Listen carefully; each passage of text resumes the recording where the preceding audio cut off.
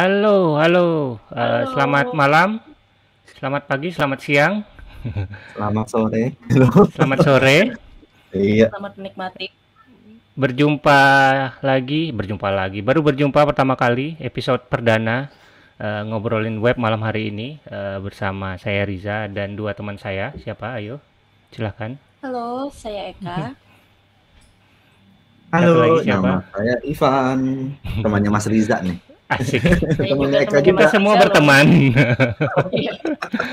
Iyalah, masa Iya. musuhan? Jadi, eh, ini adalah episode perdana dari ngobrolin web. Ini inisiasi baru yang kita eh, hasil diskusi dari weekend kemarin, ya. Eh, kemudian eh, kita berinisiatif untuk eh, ngobrol-ngobrol santai. Eh, ada topiknya, tapi ngobrolnya santai. Tujuannya supaya bisa catch up dengan teknologi web yang berkembangnya cukup pesat ya, sampai saya merasa ketinggalan. Jadi mudah-mudahan bisa dapat insight dari uh, dua rekan saya ini dan teman-teman lain yang ada di chat ya. Betul, Oke. betul, betul. Mungkin uh, kita bisa mulai dari uh, menjelaskan tentang uh, ini acara apa sih sebenarnya? Ya itu tadi kan. Oh iya ya, udah jelasin ya. Salah Ngobrolin ya. kan? Oh iya, Iya. ngobrolin web ya. Pokoknya semua hal tentang web ya. Nggak kita nggak ngomong uh, spesifik framework, kita nggak ngomongin spesifik browser. Mau ngomongin browser uh, apa? uh, battle browser juga boleh ya sebenarnya ya. Boleh, boleh. Ya, Nggak asal jangan toxic. spesifik framework JS atau. CSS, enggak. Tapi general. Tapi boleh aja kan kalau kita nyinggung uh, X dan Y gitu. Uh, Oh boleh, boleh. Pokoknya yang Kayak berhubungan dengan teknik-teknik. web ya. Ya, teknik Iya. dan komparasi mungkin. Iya, yang ada hubungannya lah, masih ada hubungannya. Nah, tadi teman-teman udah yang sempat kenalan. boleh ngobrol.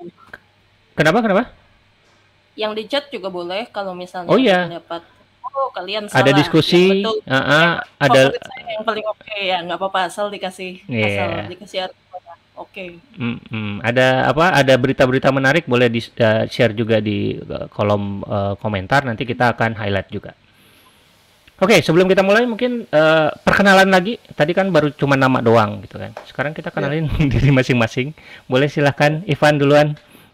Iya, boleh halo semua teman-teman pemirsa, penonton, Pemirsa. netizen, Cile. Perkenalkan dulu deh yang belum tak belum kenal saya. Nama saya Ivan Kristianto. Uh, saya seorang uh, Google Developer Expert di bidang web teknologi ya dan berprofesi sebagai uh, senior web engineer di sebuah salah satu perusahaan uh, agency ya web agency yang berkecimpung di dunia yang lebih spesifiknya lagi itu di dunia uh, web-web mengenai WordPress. Jadi kita banyak develop mengenai di komunitas WordPress. Dan jadi saya juga aktif ya uh, sebelumnya. Sebelumnya aktif um, tahun ini sih berkurang karena kesibukan dan pandemi. Tapi uh, sering dikenal karena aktif di komunitas WordPress di Indonesia beberapa kali pernah mengadakan WordCamp, aktif juga di Meetup, uh, WordPress Jakarta Meetup dan sering ngisi-ngisi acara sebagai speaker juga di WordCamp. Tahun ini ada WordCamp. Tahun ini ada WordCamp ada. Ada ya? Ah, November di Gresik. Ya, Gresik. di Oh, Gresik. wow. Terus sih Namun sayang sekali speaking ininya sudah ditutup. Jadi kalau berniat sebagai speaking mungkin sudah tidak bisa. Udah penuh ya? Ya, Udah penuh. sayang sekali. Ah, saya juga nggak sempat nggak nggak masuk soalnya nggak sempat lupa tanggal tanggal deadline-nya aduh ya sudahlah Em, tapi ada WordCamp Asia di di Februari 2023 Mhm. ya Em, Di eh, itu ya, Thailand ya? Apa? Bangkok. yes di Bangkok jadi kalau misalnya Eka berniat kenapa saya tunjuk Eka karena mereka lagi mencari diversity speaker Oke. Ya, Em, silahkan. Jadi eh, nanti saya kasih linknya di di chat nanti. Em, ya silakan apply. Cuma karena ini WordCamp open source, eh, aturannya sedikit berbeda jika speaking di GDG. Jadi tidak ada support mengenai travel dan hotel nggak ada.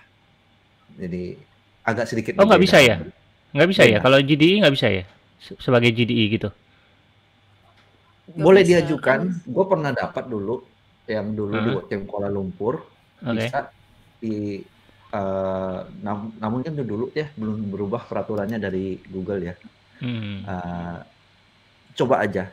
Dan- Bisa lah, nanti minta tolong eh, apa Karena yang sana. Kan- ini kan ada itu. Google tuh Ada orang dalam kan? Ada orang dalam kan? Eh, Bangkok JS kan? Si Warat kan? Ya. Minta aja bikin eh, JS apa gitu. Ah, iya, betul sekali. kan ada GDG Kuala Lumpur, eh GDG Bangkok. Bangkok ada, iya. Sekalian gitu, dua hari gitu. Ya, Oke, bikin. lanjut. Siap. Lanjut. Sudah? Sudah kenalannya? Wah, enak tuh tehnya. Oke, lanjut Eka. Halo, salam kenal. Eh, nama saya Eka. Kerja sebagai web developer di sebuah NGO yang namanya Atma Connect. Sama kayak Mas Riza sama Ivan, eh, aku juga eh, Google Developer Expert di bidang web teknologi. Terus aktif di mana ya? Sebenarnya nggak aktif di mana-mana sih. Cuma GDG Aku tuh nggak bisa.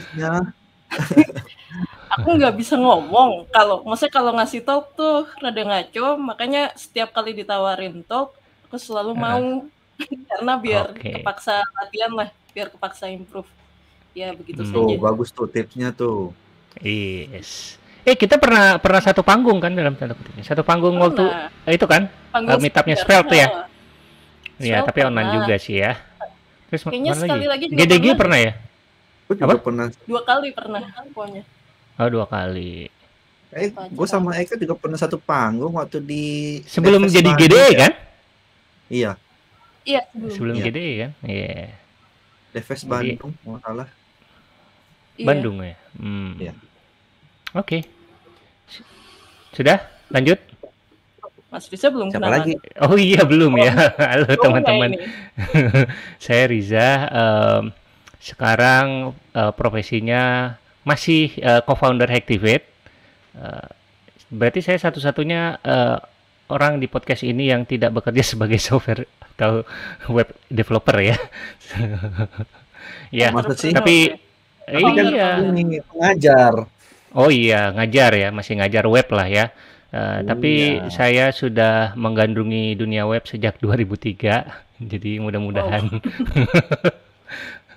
mudah-mudahan ada insight-insight lah ya. Oke, eh, sekarang eh, kita langsung aja ke topik malam hari ini. Ada masing-masing menyumbang satu topik. Siapa yang mau duluan? Eka, boleh duluan? Kita Boleh. share screen kali ya. Mhm. Share screen web dev. Oke.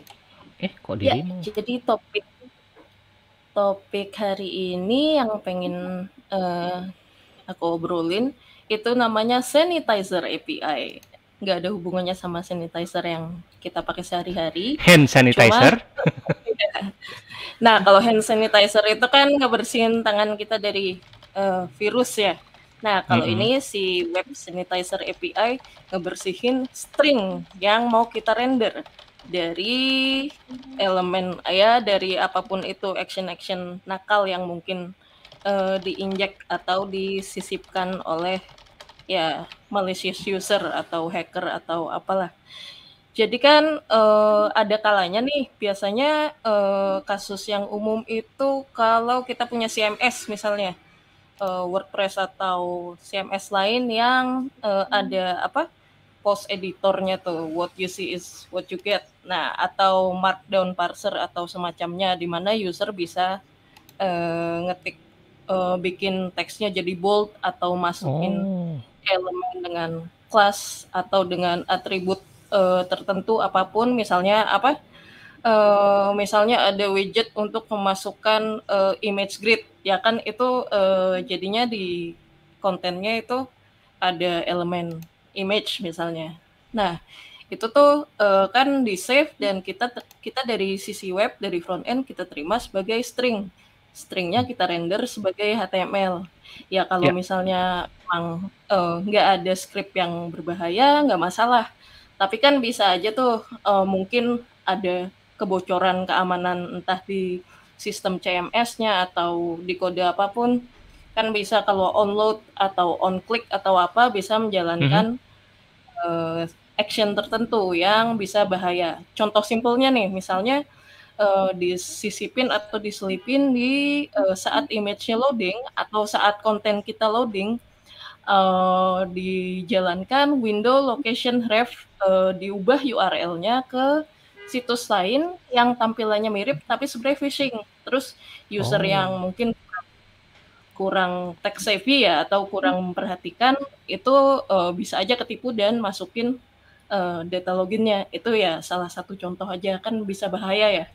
Uh, jadi kalau okay. misalnya kita pakai framework nih, misalnya kita pakai apa React kan ada tuh dangerously set inner HTML mm-hmm. atau um, misalnya kita pakai Svelte itu kita sebenarnya ada untuk ngerender HTML kan pakai uh, directive at, at HTML cuma yes. di dokumentasinya sama di tutorialnya itu dikasih warning dikasih peringatan bahwa uh, si Svelte sendiri ini nggak men-sanitize jadi kalian harus bertanggung jawab untuk ngebersihin sendiri. Ya kalau React uh, itu dari namanya juga udah jelas kan dangerously set inner HTML. Jadi ini bahaya loh kalau maksudnya kalau kita nggak tahu dan kita nggak mastiin sendiri uh, keamanan stringnya bisa berbahaya.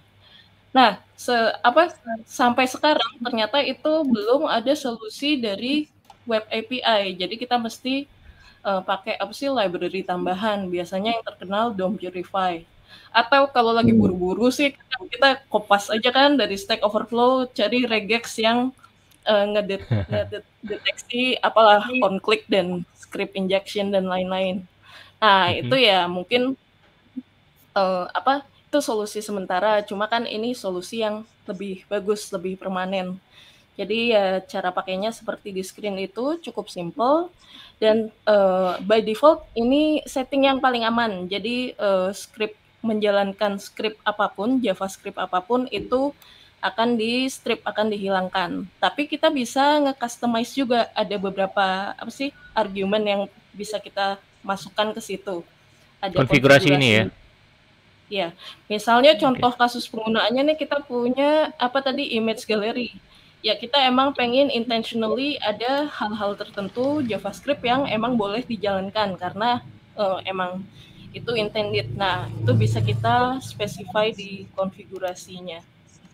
Jadi begitu. Dan ini sebenarnya apa eh, proposalnya sudah ada sejak cukup lama dan sebelumnya juga udah dirilis di Canary eh, Canary sama preview rilis.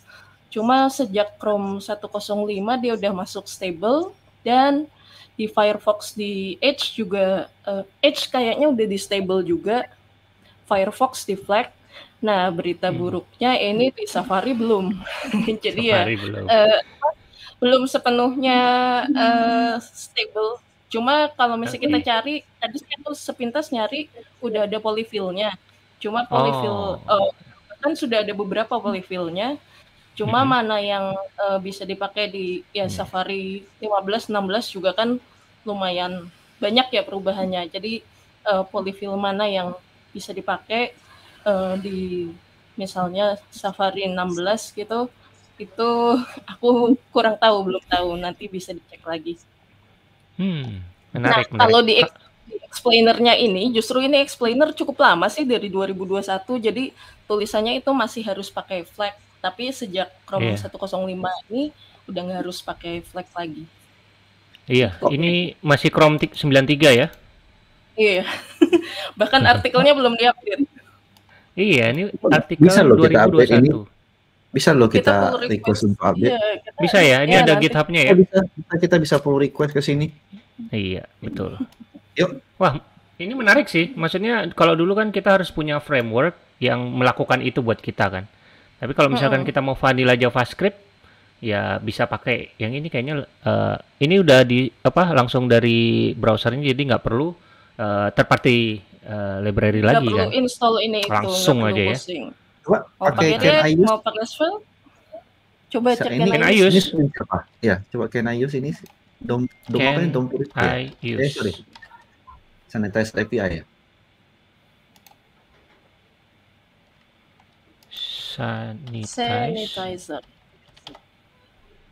Ini ya. Iya. Yes. Ijo ijo, Edge ijo, Firefox. Firefox masih ini ya. Flag, eh, flag. under flag ya, under flag. Iya. Under flag itu artinya mungkin ada eh, apa bisa jelaskan Eh, teman-teman mungkin ada yang belum tahu under flag itu maksudnya apa sih? Nah, flag itu sebenarnya untuk rilis yang eh, untuk feature yang udah pasti akan dirilis eh, dan sudah masuk di stable eh, di browser utama yang Chrome ya, Chrome eh, Chrome biasa, Firefox dan lain-lain. Tapi kita harus secara manual eh, mengenable atau mengaktifkan feature itu di setting browser kita. Hmm. Jadi ya semacam pre-release lah. Pre-release ya. Jadi harus diaktifkan dulu ya. Nah, Iya, jadi sudah ada feature gitu ya? itu. eh, eh, kita harus ngaktifin, eh, kita harus opt-in, ngaktifin sendiri. Nah, itu Oke. mungkin ya semacam sambil nunggu bug report atau vulnera- vulnerability report dan masalah-masalah lainnya kali ya. Setelah Hmm. biasanya kalau udah di flag beberapa rilis kemudian ya akan dirilis stable. Oke, Hmm. kecuali Safari ya, belum support sama sekali ya. lama. Tunggu MacBook baru lagi tahun depan lagi, Bro. Tunggu MacBook baru M3 kali M3 kan sekarang M2 tunggu M3 M3. Iya. Udah ada M3 di Indonesia mah. iya ya itu IM3 bro Operator. Bukan. Wah, endorse. seru seru sekali ini. Jadi kita nggak perlu apa nggak perlu third party, kita bisa langsung pakai kalau misalkan ada apa ya? Kalau kita bikin YC Week ya, editor gitu ya, yang Ya, butuh yang HTML, sering tampilan HTML. Jadi langsung dipakai sanitize API, hasilnya dalam bentuk string ya berarti ya, string yang sudah aman gitu ya. String yang aman bisa di-render Hmm. eh, jadi HTML, render ke DOM. bisa terbebas dari jadi ada ada istilahnya begini kalau uh, moto yang pernah saya pelajari itu uh,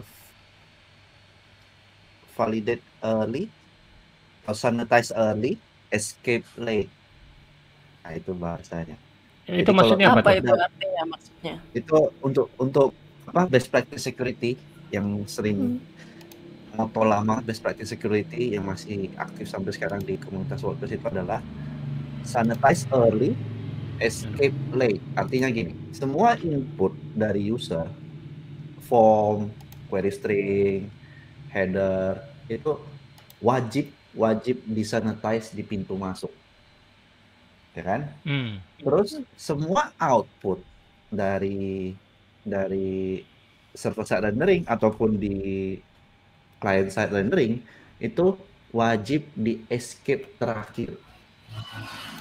Wajib di escape Escape terakhir. itu ya kayak gini di sanitize, eh, di di Hmm. di purify, wajib di sanitize, Eh, wajib di escape. Jadi kalau misalnya dia mengandung JavaScript ya semua di escape. Jadi atau kalau dia memang di bayangkan ya sebuah atribut tapi isinya eh, HTML kan nggak bisa juga. Berarti kita harus escape semua HTML-nya. Ya. Dan itu hanya tinggal jadi string doang kan. Mm-mm. Mm-mm. Jadi sanitize early, escape late. Jadi wajib. Jadi kita jangan banyak banget sanitize di tengah-tengah atau escape di tengah-tengah nggak perlu. Selalu out di output kita paling terakhir selalu di escape untuk menghindari cross site scripting. Nah, ini benar nih. Apa eh, ada komentar juga nih. Wajib semuanya wajib di sanitize ya. Jadi jangan eh, percaya sepenuhnya kepada eh, inputan user ya, inputan pengguna. User itu jahat. Ada, ada bahasa gini. Kita Netizen percaya ya. inputan user, kita percaya, tetapi wajib diperiksa. Oke. Oh, oke. Iya. Percaya, Iya, tapi diperiksa. Iya, kalau kita nggak percaya sama user, nanti usernya nggak mau pakai aplikasi kita ya. Betul. Jadi kita harus encourage mereka untuk input, tapi inputnya harus diperiksa gitu ya. Iya. Benar, benar, Atau benar. di, diklarifikasi, diklarify. Di klarifikasi. Yes. Saya- User kan sering ada bug, ini error. Iya, gue percaya. Tapi, Tapi? errornya gimana? Nah, ya kan gitu kan? Diperiksa kembali, Iya. diklarifikasi. Benar, benar, benar, benar. Selamat malam. Malam Oke. juga. Malam juga. Selamat datang. Oke, eh, kita bisa lanjut ke topik kedua. Boleh. Mas Topik kedua siapa nih? Saya juga bisa. Karena Oke. topik saya nyantai. Nyantai ya, performance itu nyantai ya? Nyantai. Apa nih? Um, Boleh. ini yang share screen siapa ya, Mas? Riza atau nih? Atau gimana? Bisa nggak sih? Boleh, boleh. Bisa. Eh, by the way, um, ya, apa namanya? Kalau, oh, gue mau bawa tentang performance insight. Jadi gini, Share screen Kalau dulu coba, share screen dulu. oh iya, share screen, tes, share screen, tes. Jangan-jangan minta Belum. permission lagi? Iya, ya, minta permission ya? Enggak kan? Enggak, enggak. Udah tuh bisa. Oke. Eh, kelihatan Eh. kita. Hai. Iya, gua pindah dulu screen-nya. Eh, gua ke sini. Eh, Nah, jadi Gedein dong, Um, gedein. Zoom, zoom, zoom. belum. Jadi Oh, belum. Oke, siap. Kalau teman-teman biasanya ngetes performance itu saya yakin dan percaya yang menjadi best practice itu ya kalau zaman dulu pakainya GT Matrix lah, kalau zaman sekarang mungkin namanya Lighthouse ya kan? Ya. Lighthouse dan di mana-mana Lighthouse, Lighthouse bahkan di Borsa juga ada Lighthouse gitu ya.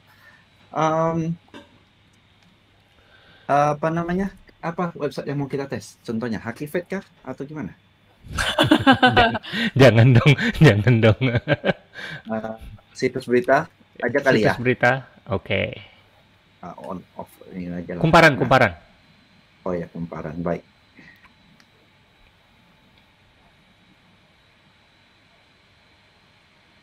Soalnya kalau Activate sta- static site doang.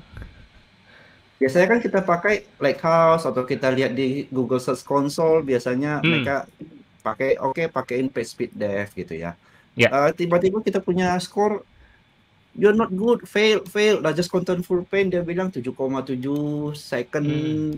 cumulative layout shift bla bla bla ya kan. Ya. Um, Merah semua ya? Iya merah semua gitu. Terus Jadi ngeterima raport deh. eh, eh, Enggak, ada yang hijau sih, ada yang hijau tadi. Kita pakai dari sini ya kan. Uh-huh. Biasanya Beda. sorry. Iya kita pakai sendiri beda. Meskipun kita sudah eh, sudah pakai throttle ya, eh, Hmm. pakai throttle 4G atau throttle secara fast 3G, kita throttle lagi. Kalau kita pakai Lighthouse di sini dia bakal throttle Mm-mm. pakai fast 3G ya. Oke. Eh, nah, kita dapat begini. Oke, performance-nya 13 gitu ya. Wow. Terus Oke. 92. Eh, dia Oh, bilang FCP-nya 3,1, LCP gini, time to interaktif segini. Oke, it's fine, it's just a number. Bentar, Nah. bentar, bentar. Mungkin eh, Pak jelasan sedikit aja FCP itu apa? Panjangannya, Dikit aja, kecepatan ya. Takutnya, takutnya, takutnya Oke. ada yang belum mengerti gitu.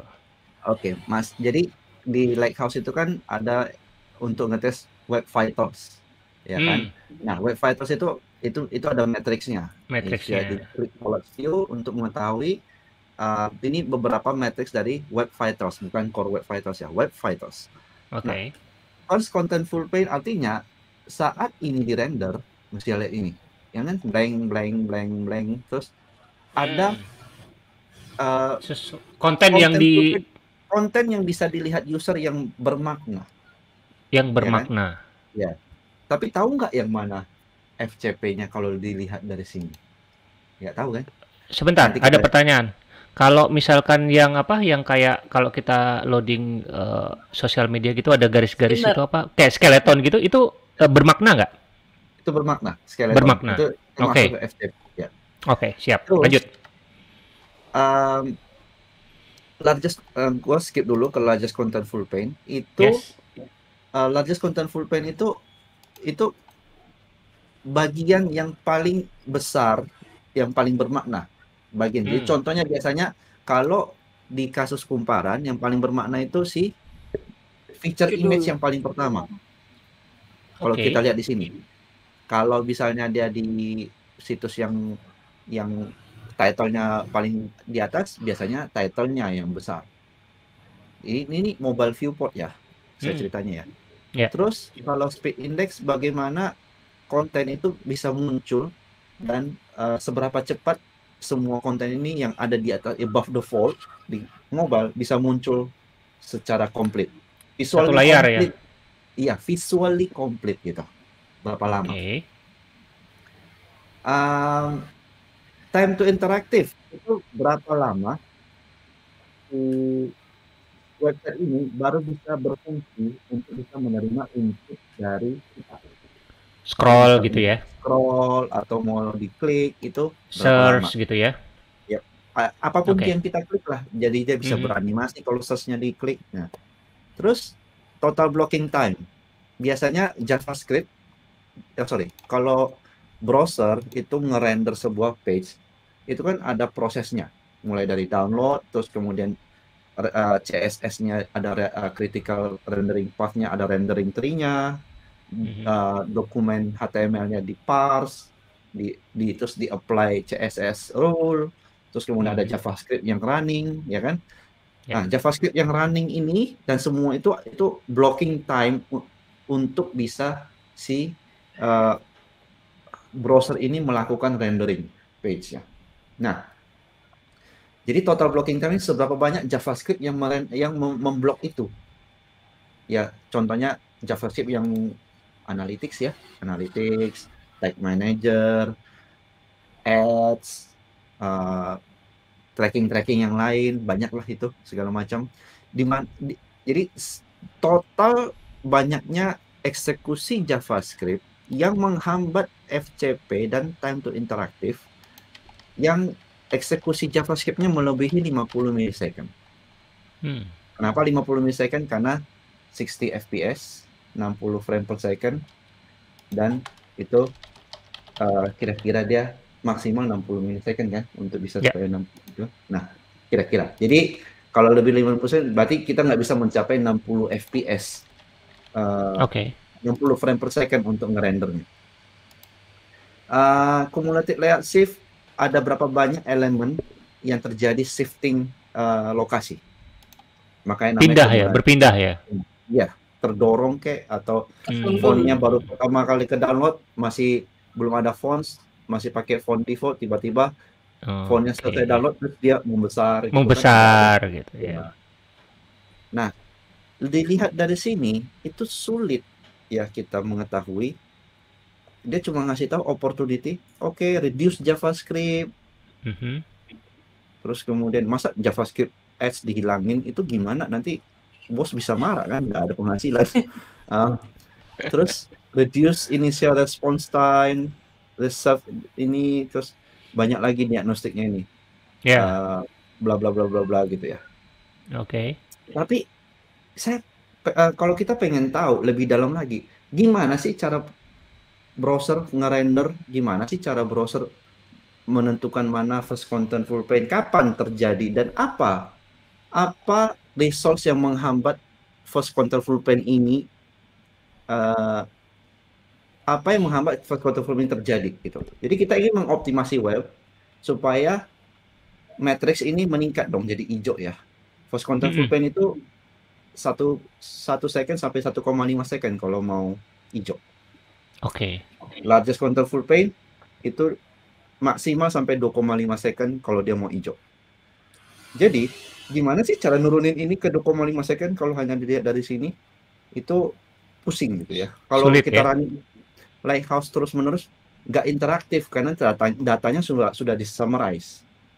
Hmm. Makanya ada fitur baru dari Google hanya ada di Chrome 102 semenjak 102 itu pun di, bila- di belakang feature flag Itu masih eksperimental ya kayaknya. Iya. Saya pakainya Chrome yang dev itu 107 ya sudah ada tinggal pakai aja yang dev.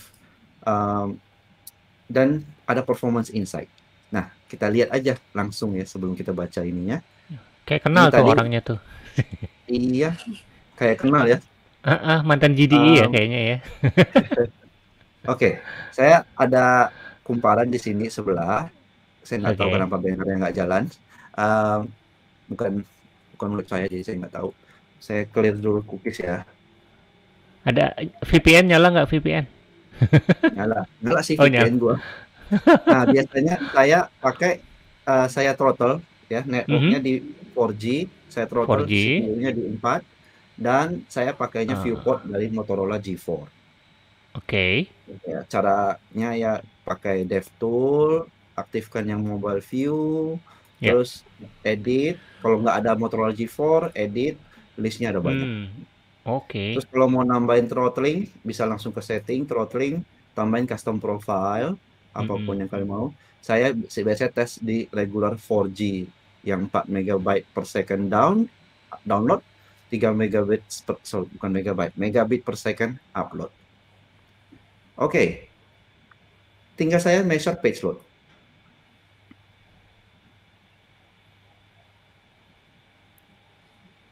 Ini udah pakai yang baru ya berarti ya? Yep. Wah. Nambah satu tab lagi ya tambahannya.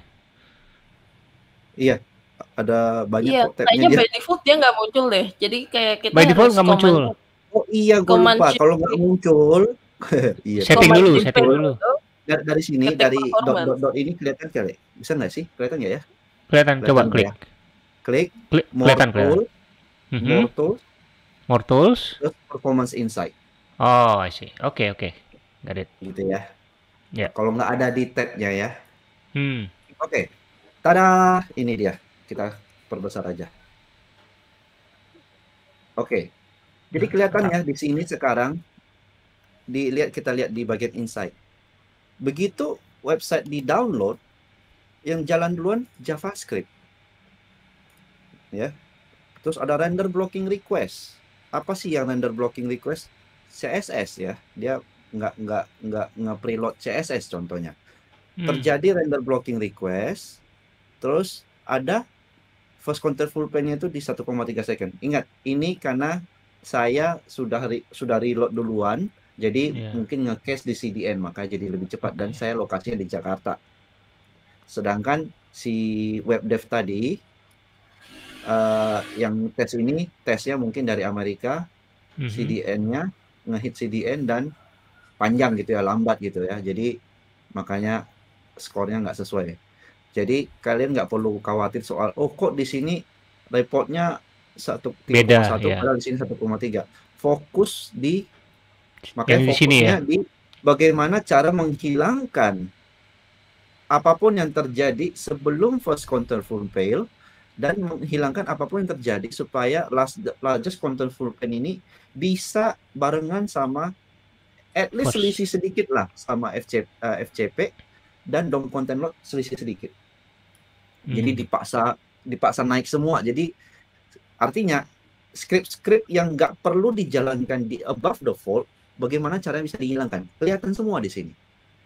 Jadi bisa ada long task, ada render blocking request, long task, terus baru terjadi FCP. Kalau kita lihat FCP-nya itu apa, bisa klik di sini.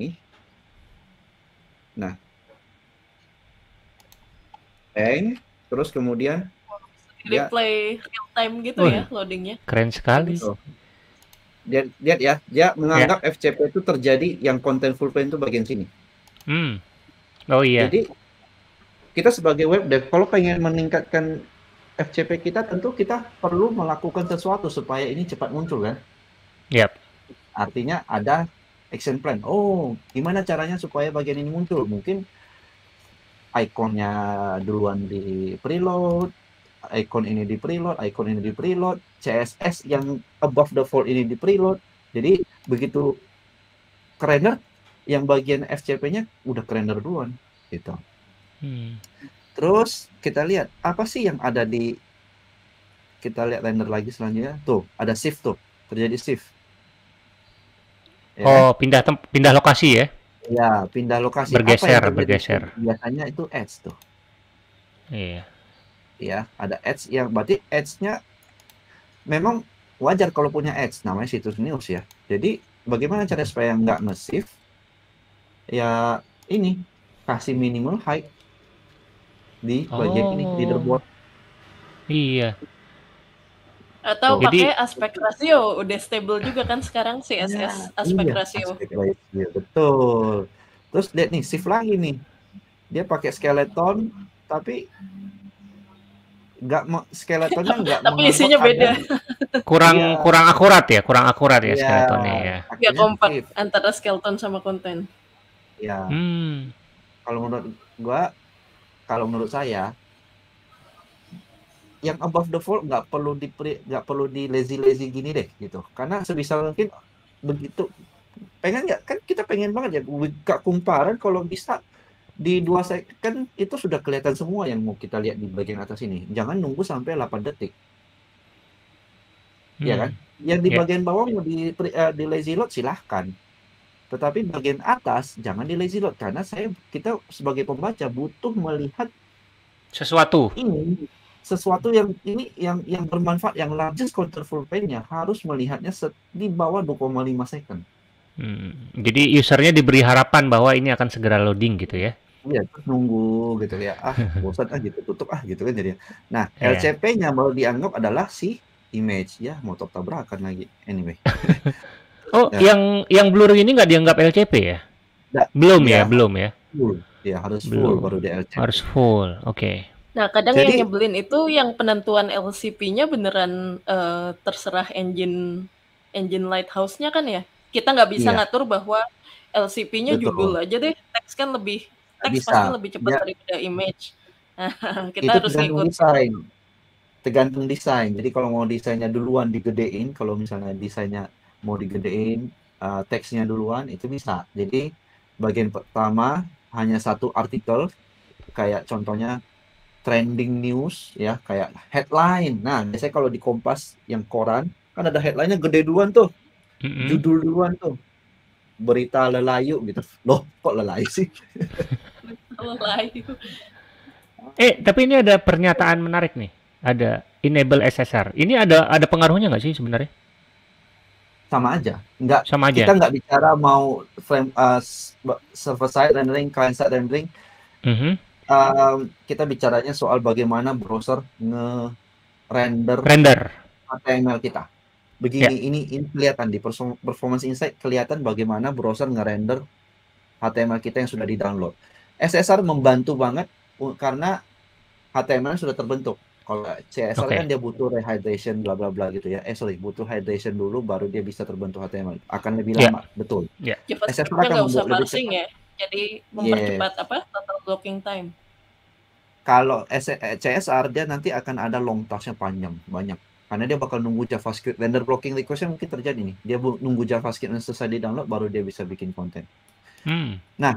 kita lanjut ke LCP dia baru kelihatan sampai sini kalau kita lihat lebih dalam lagi ini kan dia bisa kumpulkan antara nah, apa namanya eh third party sama first party jadi semua ke bawah ini third party di, bisa Ya. dilihat kapan dia dijalankan dan first Mhm. partinya apa sih yang dijalankan di, di awal Uh, Oke. CSS itu warnanya ini ada ada magnifying glass bisa Mm-mm. digedein Nah. Oh, nice.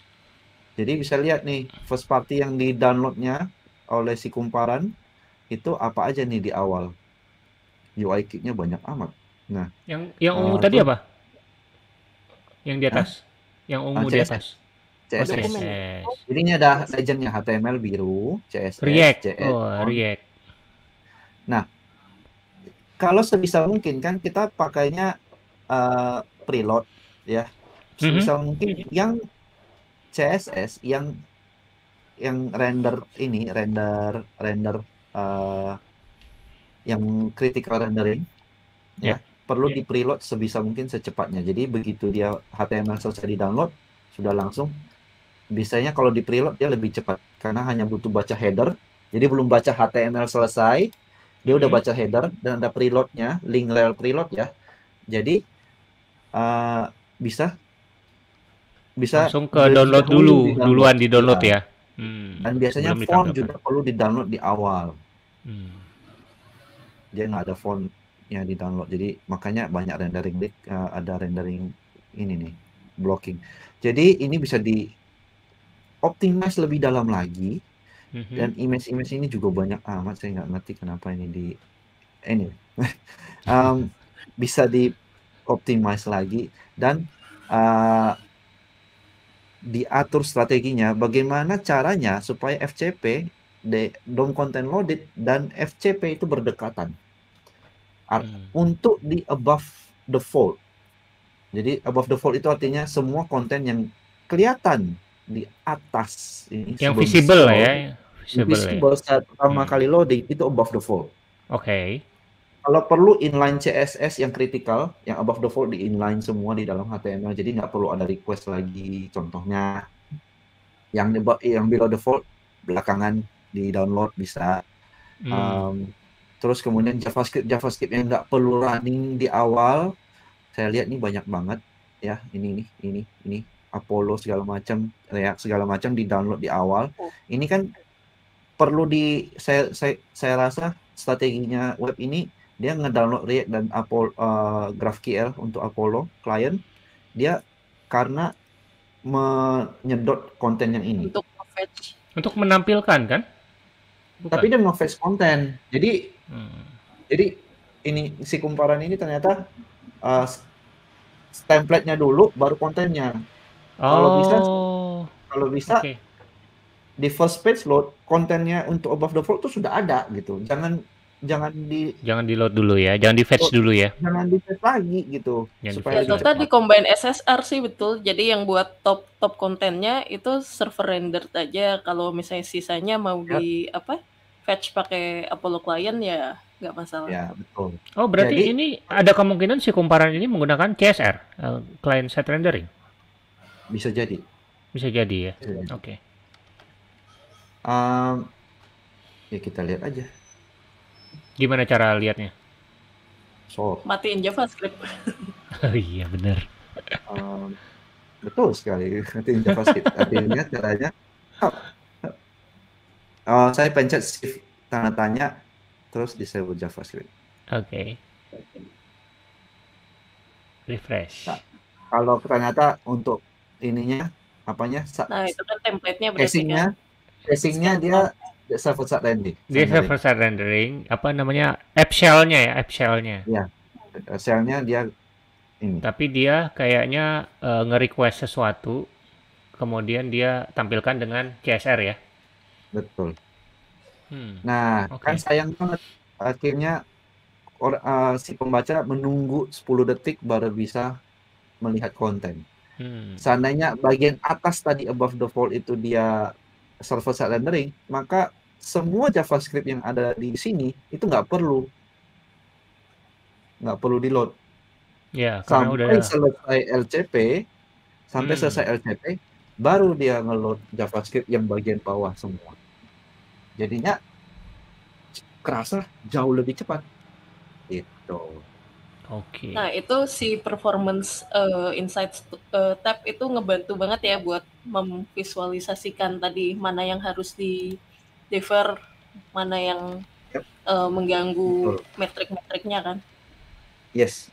Jadi banyak yang bisa kita lihat apa yang bisa dioptimasi. Kalau bisa long task long task ini dihilangkan sebelum uh, semua yang sebelum FCP itu long task semua harusnya hilang. Render Hmm. blocking request harusnya hilang. Dan uh, format kreatif itu bisa diperbaiki lagi mengenai uh, HTML strategi HTML uh, kontainernya, strategi- uh, struktur HTML-nya dan CSS-nya. Kelihatan kan mana yang terjadi layout shift Mm-mm. Betul betul. begitu. Um, yep. Sekian Ada contoh saya. ada contoh web yang bagus nggak? ivankristianto.com gitu misalkan. Enggak, itu jelek. Kalau menurut saya Yang bagus yang bagus. Ini Waduh, big tech. ini mah static site. Uh, iya,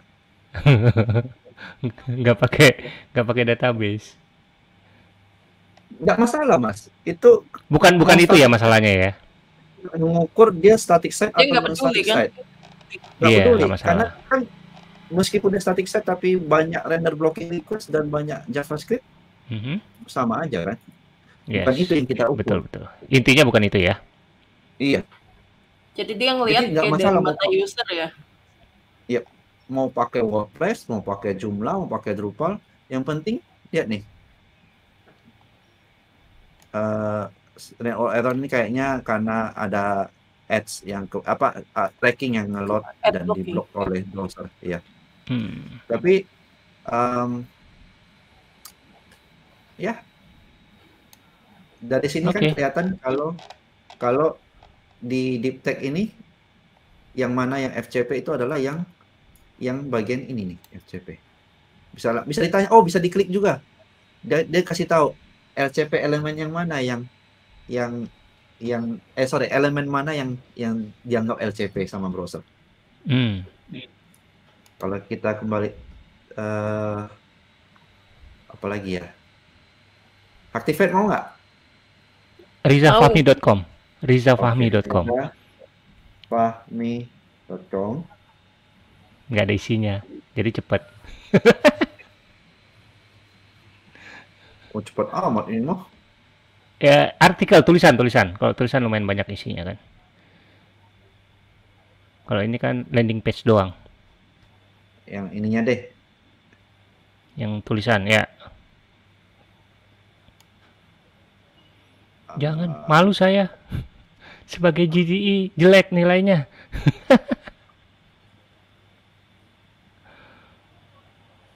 Deg deg deg deg. deg-degan nih aduh gimana ya Tuh, masih ada render blocking request mas. oh masih ada ya Okaida. siap siap siap Tadi, oh tadi pilot aja. oke siap Udah. Bagus kok. Prism itu kan code block kan? Eh belakangan Code. aja itu.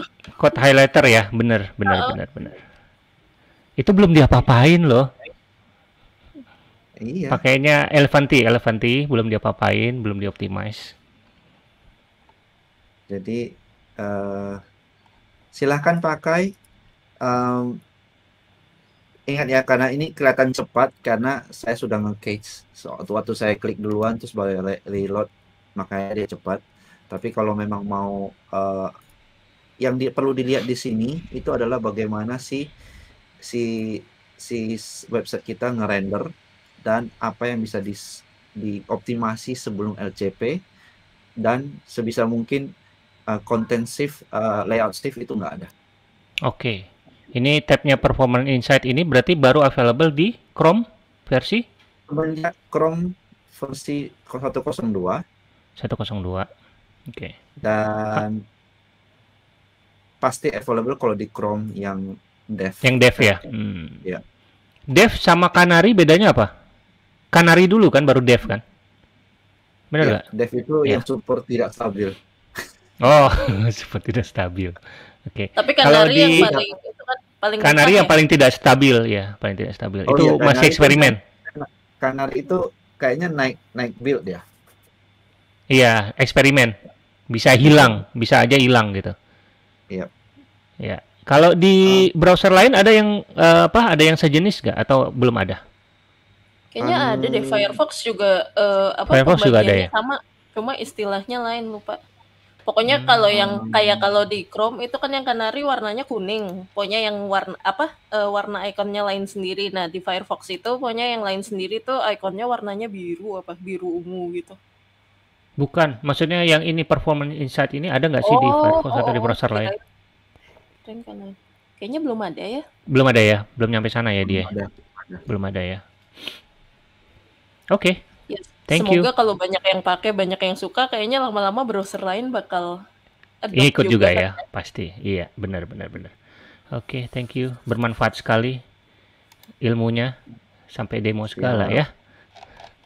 Oke, kalau saya share-nya eh, ini aja yang lagi yang lagi nge-hype tentang Gosip Figma. Nggak gosip, Gosip sih. hangat ya. Fakta-fakta. Eh, Asik. Jadi kan Figma beberapa minggu yang lalu eh, mengabarkan kalau dia diakuisisi sama Adobe ya. Ya. Eh, iya, eh, angkanya fantastis ya, 20 Nolnya juta, banyak. 20 billion ya. Billion itu triliun berarti ya.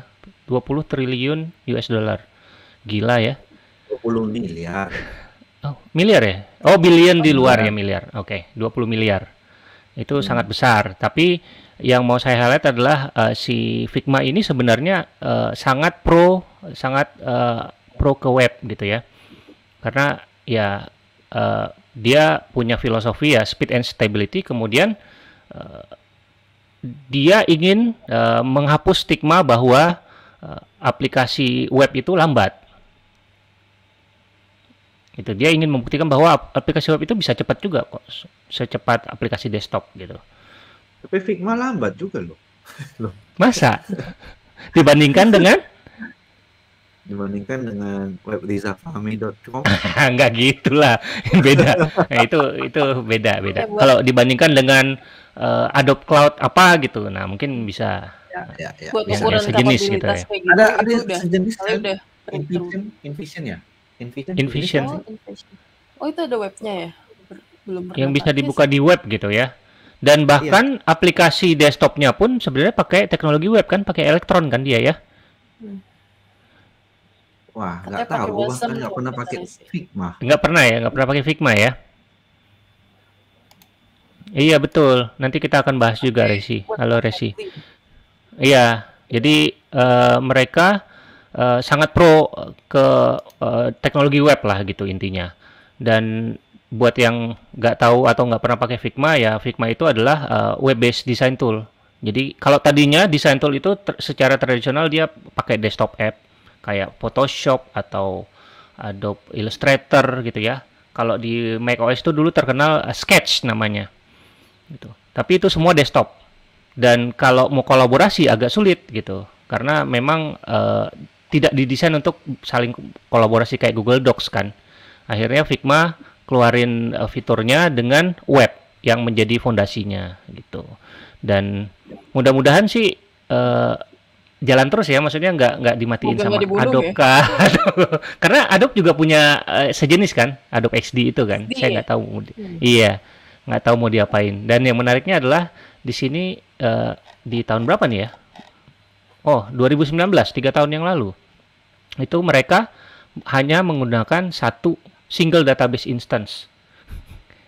Tapi nggak tahu instance-nya segede apa ya. Tapi eh, setidaknya bisa jadi gambaran teman-teman yang pakai aplikasi sebesar Fi- Figma aja itu database-nya baru satu gitu. Dan eh, Segede apa? eh gede banget. Usernya banyak. Heeh.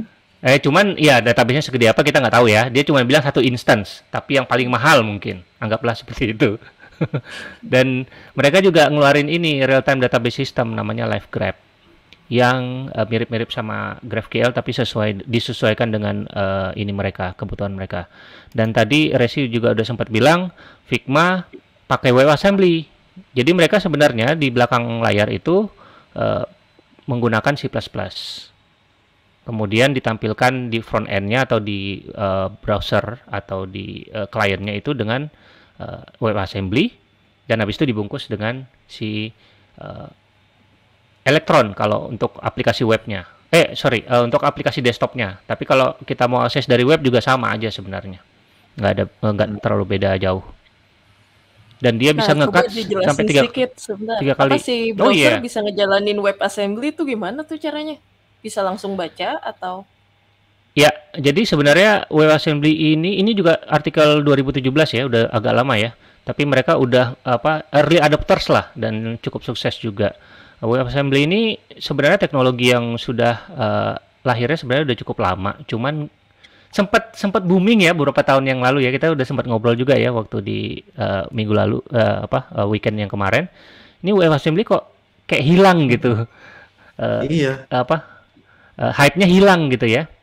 Jadi kalau misalkan teman-teman yang tadinya punya aplikasi eh, berbasis desktop atau aplikasi yang ditulis dengan bahasa-bahasa mesin atau bahasa low level gitu ya kayak C, C++ atau apa lagi yang eh, ini ya Pascal gitu ya dan teman-temannya itu sekarang eh, bisa dikonversi ya dengan sedikit tweak gitu bisa dijalankan di web. Contoh yang paling unik itu salah satunya ada yang namanya AutoCAD. Kalau eh, apa? Kalau kenal dulu ada aplikasi desktop 3D. yang keren banget 3D gitu ya, desain 3D. Itu hanya bisa dijalankan di desktop Windows gitu. Dan dia bisa konversi aplikasinya yang ditulis dengan C++ akhirnya bisa berjalan di cloud atau di eh, browser. Itu dengan menggunakan teknologi yang namanya WebAssembly. Itu. Sebelum WebAssembly ada yang namanya ASM.js. Jadi ini eh, apa eh, awalnya, awalnya dari sana. Dan gara-gara pakai WebAssembly si Figma ini bisa ngekat apa eh, performanya jadi tiga kali lipat. Oh. Begitu. Jadi memang si Figma ini benar-benar apa ya eh, fondasinya adalah teknologi web sebenarnya. Mudah-mudahan uh, maju terus lah si Figma ini jangan sampai jangan sampai dimatikan gitu. Harapannya sih gitu. This will probably change soon, so you should check the can I use entry.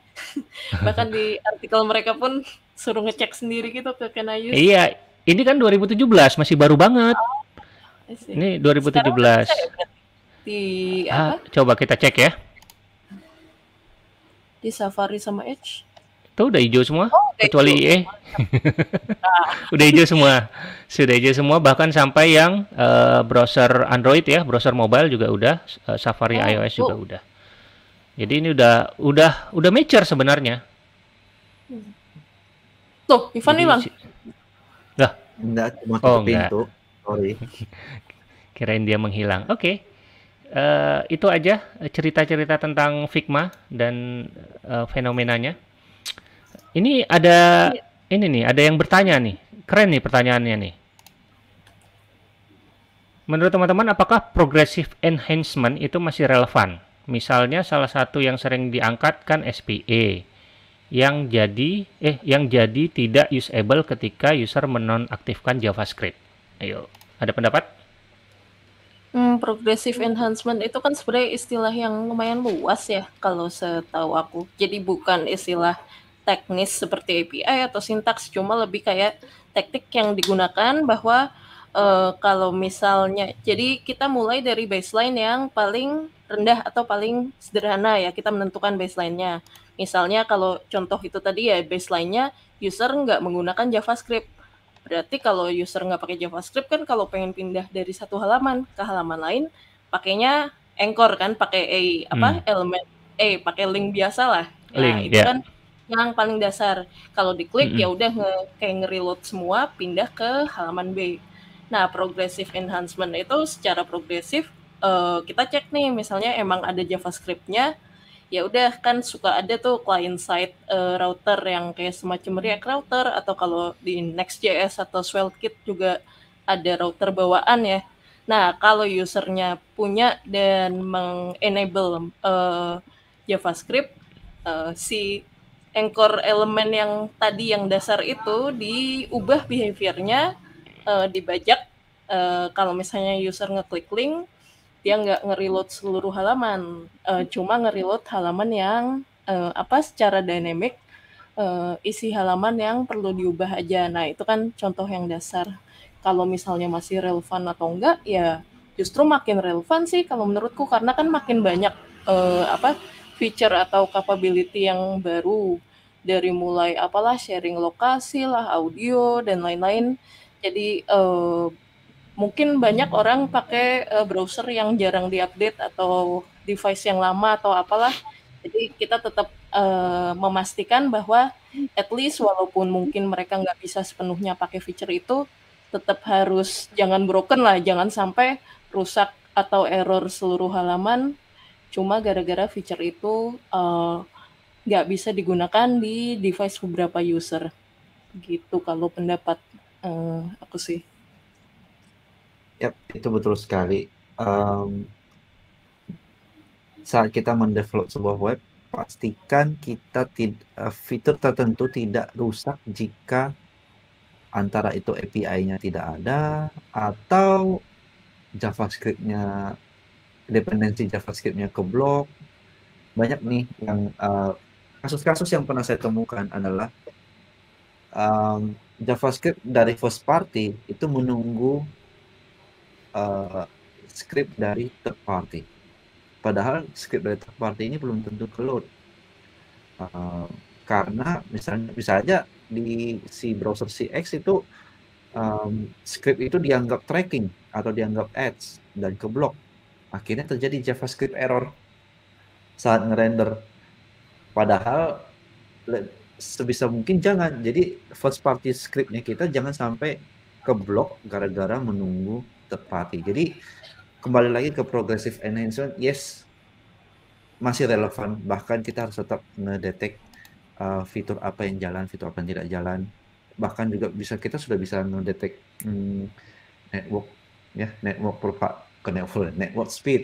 Nah, network speed dari si si browser ada lagi yang satu lagi kita harus juga me- menghormati uh, apa itu istilahnya kayak bandwidth safe bandwidth safe uh, Oh dari si iya. user Oh iya. safe juga. bandwidth Apa uh, ya atau namanya? safe mode safe mode atau band ah, ah, gue lupa lagi nama API-nya bisa nge kayak ngedetek kalau dia si browser itu si browser si user itu sedang dalam bandwidth saving mode jadi kita jangan Oh. sampai download yang nggak perlu Jadi kuota sebulan jangan sampai habis sekali buka iya satu halaman.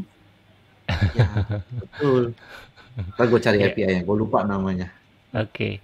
Ya, terima kasih ya pertanyaannya. Bagus Topik sekali. minggu depan topik minggu Oh, depan boleh, boleh, boleh. Topik minggu depan. Langsung ditulis saja. Ya, sebenarnya gini sih, apa lebih ke ini PWA progressive enhancement atau PWA gitu ya, eh, secara umum itu kok sekarang udah nggak gitu terdengar ya. Eh, tapi di sisi yang lain sebenarnya itu udah diimplementasi udah kayak eh, PWA itu udah sama dengan web aja gitu. Bikin aplikasi web ya PWA gitu. Maksudnya kayak butuh local storage kah atau tadi misalkan kayak kumparan. Kumparan itu aplikasi PWA bukan sih? Kita udah nggak ngomongin itu lagi kan. Tapi ternyata kumparan dia menggunakan uh, tools-tools di progressive enhancement-nya gitu. Misalkan apakah dia pakai local storage, pakai location misalkan. Terus uh, mungkin kalau kita buka Share ya, website mungkin bisa Iya. Iya, betul. Misalkan kita buka e-commerce eh, apa apli- aplikasi e-commerce terus dia bisa eh, apa SMS OTP atau pakai apa QR code pakai webcam dan lain-lain itu juga udah enhancement kan gitu. Dan kita sudah tidak menyebut lagi itu dia pakai PWA atau enggak. Jadi udah web biasa gitu. Jadi memang tujuan si PWA ini supaya hal-hal yang kita sebutkan tadi enhancement itu menjadi normal dalam tanda kutip. Menjadi tidak diperbincangkan lagi, udah dianggap sebagai web biasa. Makanya kurang terdengar. Makanya eh, kalau ditanya relevan atau enggak ya jelas masih relevan dan kita harus punya mindset bahwa eh, kita bisa serve eh, website kita atau web kita itu untuk eh, orang-orang yang eh, ya tidak apa eh, tidak seberuntung kita dengan koneksi, dengan device, dengan CPU, dengan memori yang terbatas gitu. mungkin Mas bisa share analoginya tadi seru. Apa sih? Apa tuh? Eh, PW eh, itu dijadiin default. Jadi kayak gue tuh dulu pernah eh, lihat eh, konten tentang advertising sebetulnya. Jadi Mhm. dulu sempat eh, TV berwarna itu suatu gimmick. Jadi kayak eh, TV Oke. berwarna, color Fitur TV, gitu ya. color TV Fitur itu ya. dulu wow. eh, karena dulu kan defaultnya eh, TV hitam putih, terus muncul TV Hmm. berwarna. Coba terus Ya. sekarang nih sekarang banget ya nggak usah sekarang 10 tahun lalu atau berapa tahun lalu eh, kayaknya sepanjang kita hidup kan ya kayak TV udah berwarna Pasti ya. berwarna. Nggak pernah Nggak ada orang bilang, cari TV yang tidak berwarna gitu ya. "Ya, eh, karena nggak bisa nah eh, ternyata kalau di koran atau majalah atau iklan zaman dulu eh, color TV itu gimmick jadi mungkin itu mirip sama analogi yang apa mirip sama kasus yang Mas Risa bilang tadi ya PWA Iya. itu ya emang kita mindsetnya harus seperti itu harus udah jadi Betul. default Betul. Ivan tadi mau menambahkan? Um, iya, buka um, kalau nambahan. Jadi Mas Mas bisa open uh, situs what web can do today. Mm-mm. Ya, Bentar. mungkin bisa buat share ke What teman-teman. Web Web can do. do dot today ya. Ya, Panjang sekali. Oh iya, ini Oh, buat dia ganti nama ya dulu what PWA can do kan iya. Iya. oh iya ya. Nah itu itu tanda juga udah mulai jadi default bahwa web Eh, itu ya eh, Hmm. sebaiknya Jadi progresif. teman-teman bis yang bisa melihat ini uh, so far apa sih yang web sudah bisa akses dari device Mm-mm. uh, API API apa yang sih yang sudah bisa nah ini bisa dicek di sini Bahkan Bahkan bisa sampai payment ya. yes bisa payment bisa akses, uh, bisa akses Bluetooth tetapi NFC belum ya. NFC belum, Ah, USB. bisa serial port bisa bisa kalau nggak salah bisa face detection juga shape detection eh so, oh sorry belum bisa shape detection belum bisa masih masih Face detection bukannya bisa ya pakai eh, eh, pakai audio eh library pakai audio, pakai tambahan. video. Pakai Oh, library tambahan ya. iya bukan bukan dari API tapi Oke. sebentar suatu saat bisa tuh nanti ada kayaknya Siap, ininya Eh, File akses juga Figma pakai ya. Kalau dulu kita download Figma, eh, download filenya kan. Kalau sekarang kita udah bisa langsung akses dari eh, apa eh, dari hard disk kita, langsung nggak perlu download dan Oh, real time lagi ya berarti. Misalnya kita ngubah di web nih, filenya emang Iya. eh, berubah. Wow. Di save aja, save kayak eh, file kita save eh, Photoshop gitu-gitu. Ya. Ah, Mereka sudah support. Wah, lengkap ya. Oke. Ini pertanyaannya sudah habis kayaknya. Oh, ada pertanyaannya. Apakah saya masih di Bali? Sudah pulang. Kita bertiga di Bali kemarin. Bukan ya, saya udah doang.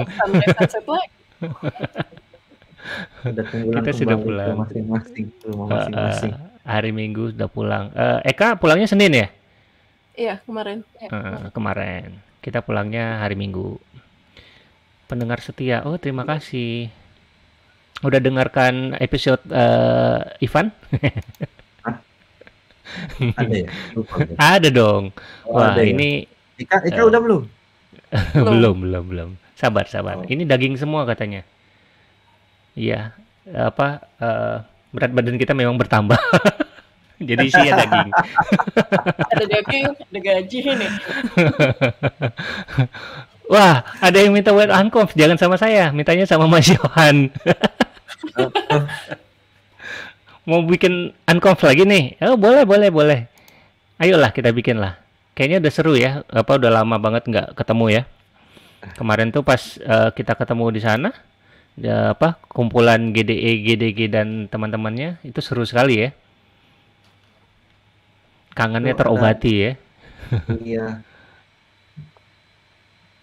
Ah, ada satu tuh. Apa tuh? Itu ada komen aneh. Eh, bukan komen aneh. Kalau mau dikasih bola kopdar bahasa we, ayo. Oh, Yang mana yang aneh? Yang ini? Yang ini? Bukan, bukan. Maksudnya. Oh, bukan. kok tahu kok tahu saya orang Sibolga gitu. Oh, iya dong. Di, di stalking dong. Temen lama kali. Tips cara jadi GDI. Ayo, siapa? Ivan, coba Hah? cerita. Men, gue udah lupa caranya. Mending Eka tuh yang tahun lalu Oh tuh. iya, Eka baru ya. Ah, Coba, coba, Iya. coba. Ya itu aktif aktif di komunitas sih. Eh, Hmm. terus apa ya? Ya itu eh, aktif di komunitas mungkin ya dengan cara sesuai kita masing-masing. Misalnya kalau suka nulis ya coba banyak aktif nulis artikel. Terus kalau diajak eh, ngisi talk ya eh, coba ambil kesempatan untuk eh, jadi speaker ya Ya. gitu. Hmm. Sama satu lagi yang penting. Eh, harus punya orang dalam. Harus punya kenalan di Google. Karena eh, harus referensi kan, via harus referral kan. Iya. Referral. Mm-mm. Kalau kita Ya nggak kenal coba orang aja Google, sering Alright. kalau sering muncul juga nanti lama-lama kan pada kenal. Iya. Sering muncul nggak tahu malu ya lama-lama. nggak tahu malu. Gak perlu malu, kan nggak tahu malu. Nah, betul. Eh kalau eh, terakhir terakhir terakhir kalau kalian dulu waktu pertama kali sharing itu eh, gimana sih ceritanya? Keinginan sharing itu eh, apa yang membuat kalian pengen sharing?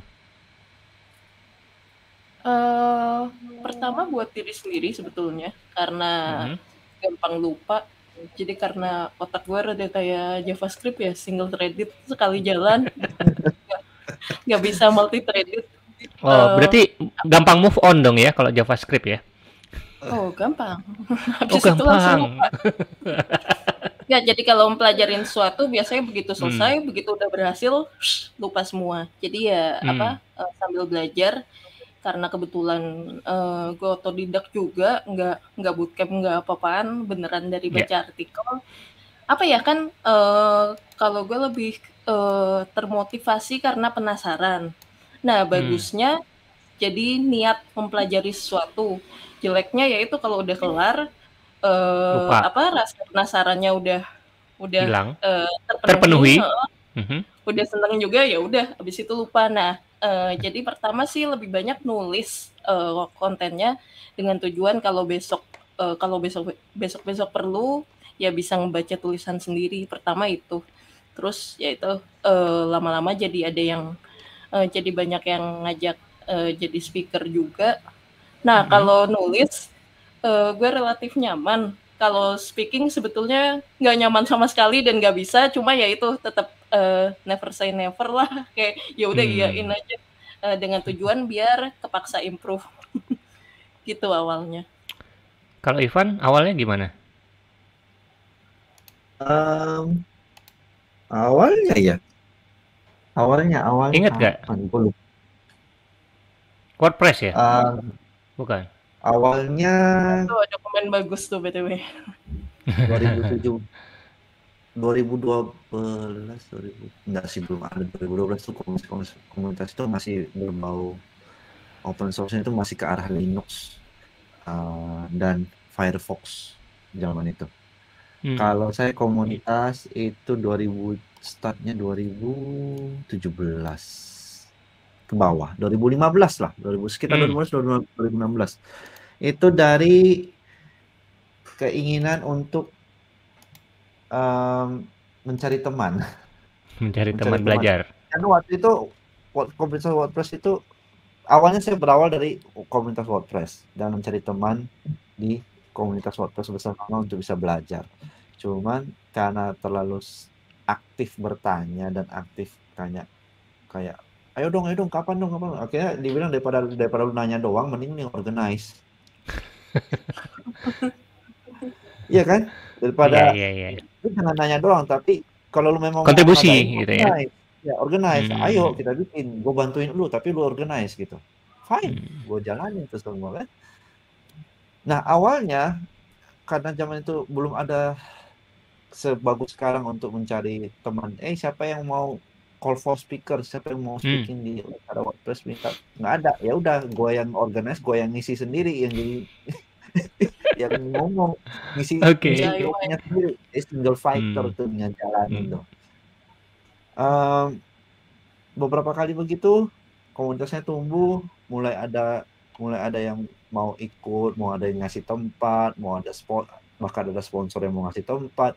Tetapi masih tetap nyari s- narasumber masih sulit. Jadi ibaratnya sekarang sharing. Dia isi apa, gue isi apa. Dia isi apa, gue isi apa. Jadi supaya Hmm. tetap ada bahan pembicaraan, gue tetap harus terus belajar. Iya, sama ya dengan tujuan podcast ini ya, supaya kita belajar ya. Kalau Iya. enggak, Kalau kita enggak, nggak bisa nggak bisa saling belajar. Dan supaya ada temen ngobrol juga ya. Mm-mm, diskusi ya, seru ya. Heeh. Oke. Tadi Nah, kata ini- Mas kira-kira nasib PHP program di masa yang akan khususnya di Noi, apakah bakal desain .js? Enggak lah, enggak. Ya, PHP sekarang sudah 8 buah, sudah jauh bagus ya. Heeh, Um, Ada types-nya juga. Iya. Enggak em, mau PHP, mau Node.js, mau Go, mau apa, semuanya punya jalannya masing-masing. Punya punya pasarnya sendiri-sendiri ya. Mm-mm. Ya, Oh iya, WordPress juga salah satu itu ya. iya. WordPress juga merajai kan dari apa eh, di web itu yang salah satu yang paling banyak kan. WordPress 30 ya? 40 40 persen. 40 persen. Ya, 40 persen dari top 10 ta- ton- top 10 million Alexa ya. Jadi jangan Hmm. jadi surveinya 10 berdasarkan juta. top 10. 10 juta Alexa. Aha. Ada nggak sih yang tahu Alexa? Alexa Ren? Ah, Alexa. Itu, tahu? Masih ada ya Alexa ya? Keren udah tutup. Masih, masih, masih. Oh, Dari masih. Amazon. Ale- Oh. Bukan Alexa, Echo. Eh. Iya, Echo ya sekarang ya? Alexa Echo ya? Nggak tahu. Anyway. Um, PHP akan hilang di saat kamu memutuskan sudah tidak menggunakan PHP lagi. Kamu itu artinya semua orang yang menggunakan PHP.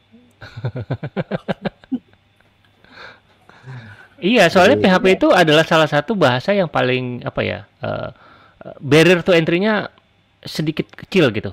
Karena ya kita install SAM di localhost udah gitu jalan kan. Gitu. Ya, mungkin kalau sekarang- macOS Unix kayaknya eh, running by default kan ya. Udah ada PHP Oh, diinstal di dalamnya ya. Mac Mac OS yang baru sudah, Sudah uh, ada. ya? PHP binary-nya sudah nggak ada lagi. Oh, udah nggak ada. Oh, Hmm, Harus install manual dari Homebrew. I see. Oke.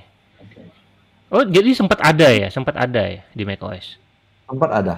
Sempat Sampai ada. PHP Oh, 74 apa 72 gue lupa. Tapi habis Oke. itu di nggak dihilangkan. lagi. Ya. Hmm. Terus Apa lagi nih? banyak Laravel tumbuh besar, WordPress Ya. tumbuh besar, Drupal masih ada, masih ada komunitas Drupal besar, jumlah juga masih ada. Di Indonesia komunitas yang paling besar ya masih PHP kan? Iya. Iya, PHP Indonesia tuh paling besar. PHP Indonesia paling Di- besar. Facebook masih menggunakan PHP kok. Jadi aman aman. Aman Mas. Iya. Aman bro. Ini ini ada ada ini nih, ada teman kita nih. Tuh, Prabu. Halo Prabu. Proker Indonesia siapa ya? 39. Nggak pernah dengar sih. Belum, Mas belum. Prabu ikut kah? Mas Arya Oh, nggak iya, ikut ya? ikut. Kayaknya nggak ikut ya. Coba cari ya. Gua agak terlalu Captek TC39 itu apa ya? Itu komite Itulah. yang kayak komite yang nentuin eh, JavaScript Oh, ya. spec. Mm-mm, mm-mm. Wah, Ya, gua nggak ikut apa? dalamnya. Eh, bukan JavaScript ya? Ininya ECMAScript ECMA kan? ya. ECMAScript. ECMA. ECMA. Dan itu seru ya sebenarnya apa eh, spesifikasi jadi belum masuk implementasi jadi eh, teknologi web kan baik HTML, CSS, JavaScript kan semua ada spesifikasinya dan ternyata dokumen spesifikasi itu kayak yang detail banget cuma masih pakai bahasa ya bahasa Inggris. Maksudnya masih pakai Hmm. kata-kata biasa. Cuma eh, ya dengan ada diskusi implementasi di bahasa low level ya. Dan itu menarik. Cuma jujur gue nggak paham sama sekali gitu. Eh, paham sedikit. Cuma paham separuh kalau baca spesifikasi. Eh, maksudnya walaupun kita sehari-hari sebagai eh, developer atau programmer yang kerja di web eh, kalau harus eh, ikut dalam apa ya diskusi atau ngerjain suatu spesifikasi feature tuh kayaknya bakal bingung ya nggak kebayang karena belum terbiasa mungkin nah eh, programmer Indonesia ada nggak sih yang aktif di spesifikasi teknologi web apa pun itulah Mungkin mungkin JavaScript, CSS, HTML. Iya, nama yang paling bisa terdekat sih kayaknya Mas Arya Hidayat ya. Yang apa dari mulai eh, dia ikut kontribusi di apa browsernya KDE itu, Hmm. yang akhirnya jadi cikal bakal WebKit. Terus Oh. juga dia bikin Phantom JS yang jadi cikal bakalnya apa eh, Puppeteer. Yang paling dekat sih itu, cuman kayaknya TC tertinan dia nggak ikut kayaknya. Belum sampai ke sana kayaknya. Atau nggak mau, saya nggak tahu. Nanti Mas Riza berarti selanjutnya. Amin. Ya, kita tunggu aja. Nih, kalau mau apa? Mau ngomongin soal web unconf bisa nanya Prabu sebenarnya. Tuh ada yang ngajakin web unconf tuh. Ayolah kita bikin lagi. Amin lah kita bertiga. Mudah-mudahan. Tapi bahasanya masih bahasa ini ya, masih masih belum nyampe kalau kita. Kita kan pengguna ya. Kita yang Iya. develop untuk browser. Kalau yang apa eh, proposal-proposal itu banyak kan orang yang mendevelop browsernya kan. Rakina Ya, lah, Rakina kali. Rakina tuh kali ya. Rakina. Rakina ya. bahasa. Rakina, Rakina lebih ke arah Rakina sama Jesselyn tuh. Eh sorry, Jesselyn orang Indonesia. Rakina paling yang yang paling dekat karena dia. Ya. Tapi dia ke Chrome. Iya, dia masih- dia Tapi bukan TC39 sih. Dia masih dia langsung ke ke eh, ke browser API. Tapi sebenarnya kan kayak Chrome, Firefox, pokoknya eh, perusahaan browser kan ngirim orang Mm-mm. juga bisa ngirim perwakilan di iya ada eh, perwakilannya, betul. TC39 atau komite sejenis. Iya, betul. Iya, semoga suatu hari kita bisa lihat nama orang Indonesia, Indonesia di ya. komite komite itu. Oke, oke. Nah, ini ya Puppeteer sebenarnya tidak eh, tidak apa ya, bukan aw, apa? Bukan eh, dia nge-fork Phantom JS langsung jadi Puppeteer. Saya nggak tahu sih eh, apa eh, awalnya gimana, tapi eh, setahu saya waktu Phantom JS memutuskan untuk tidak dikembangkan lagi, baru muncullah Puppeteer gitu. Dan pada saat Puppeteer uh, lagi di develop itu konsultasinya sama Mas Arya setahu saya karena dia cerita waktu itu.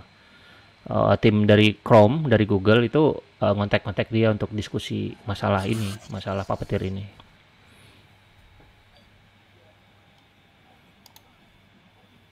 Oke, okay, kalau gitu uh, kita sudah berapa? Satu jam 20 menit. Jadi mungkin uh, kita sudahi dulu saja oh. untuk mm -hmm. episode perdana yang cukup ramai ini ternyata. Yeah. Terima kasih yeah. banyak buat teman-teman semua yang sudah meramaikan. Uh, terima kasih juga. Ininya frekuensinya gimana enaknya? bahas lagi nanti lah ya. Iya, kita bahas di belakang ya. Mm -mm. Mudah-mudahan kita kuat ya seminggu sekali. Mudah-mudahan doakan saja.